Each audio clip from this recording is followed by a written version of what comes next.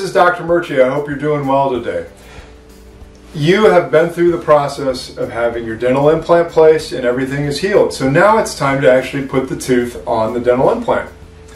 The first visit for this aspect of it of making the crown is we have a what we call a scanning appointment.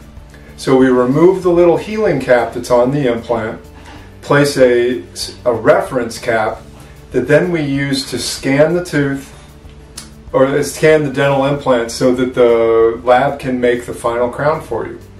We then send that information to our laboratory. They manufacture the final crown for you.